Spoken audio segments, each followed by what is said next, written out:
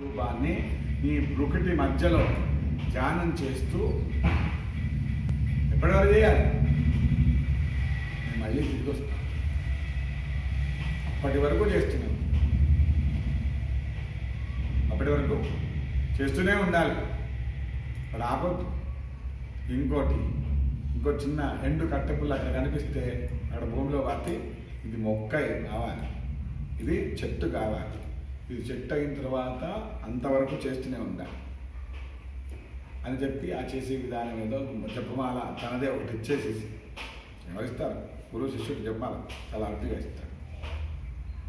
ఆ జపమాల కూడా ఇచ్చేసేసి ఆయన వెళ్ళిపోయాడు. అందుకు వెళ్ళి కూర్చున్నాడు.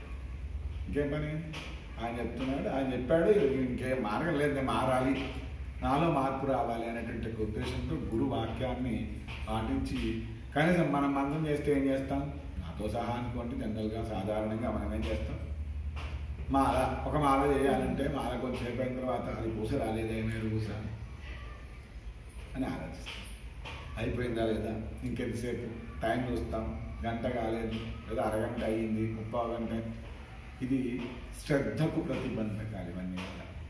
అంటే చేసేటువంటి జపం మీద శ్రద్ధ ఉండాలి నమ్మకం ఉండాలి. అట్లా సాధన చేస్తూ ఏం చెప్పాడు? భృకుటి మధ్యలో ఆజ్ఞాచక్రంలో. ఇది యోగశాస్త్రం. ఆజ్ఞాచక్రంలో మనం ఇష్టదేవతను ధ్యానించుకోవడం ద్వారా తొందరగా సిద్ధి పొందాడు. సిద్ధి పొందవచ్చు. మంత్రసిద్ధి పొందవచ్చు. అన్నప్పుడు ఆ మంత్రాన్ని బృటిలో చేయగా చేయగా చేయగా చేయగా సంవత్సరాలు గడిచిపోయిందో రోజులు గడిపిన తెలియదు కానీ ముద్గలుడు ఈయన గురించి మర్చిపోయాడు వీడి గురించి. ఎన్నడో నాడు ఆయన గుర్తొచ్చింది అరే ఫలానా వాడిని కూర్చోబెట్టొచ్చాను.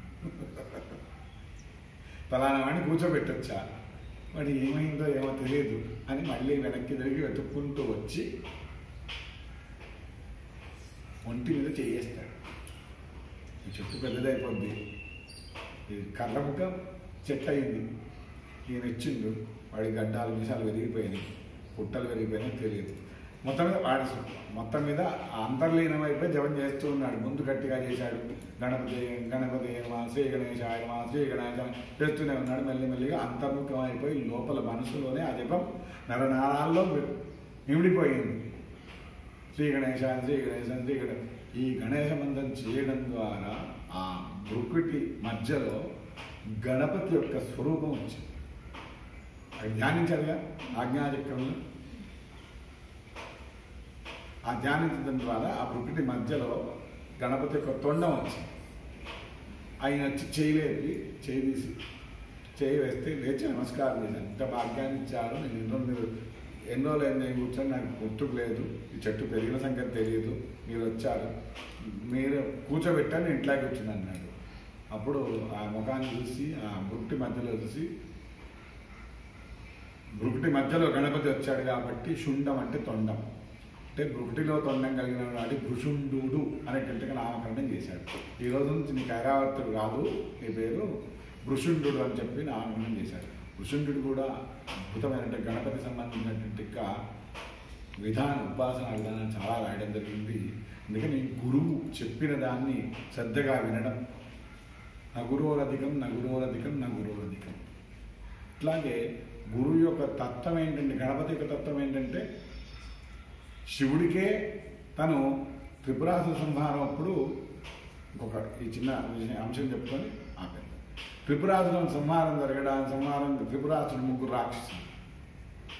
బ్రహ్మ గురించి బాగా తపస్సు చేశారు. ఆ ముగ్గురు రాక్షసులు బ్రహ్మ గురించి తపస్సు చేసిన కాలంలో బ్రహ్మ ప్రత్యక్షమే ఏం వరం కావాలనుకుంటే మాకు మూడు నగరాలు కావాలి. మూడు పురాలు కావాలి.